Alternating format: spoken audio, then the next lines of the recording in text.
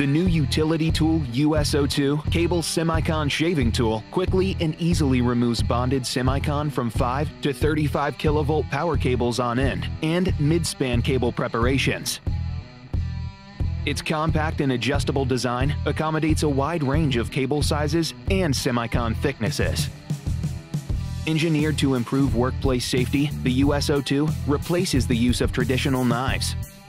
The tool's ergonomic design increases efficiency by providing greater leverage and reducing hand strain.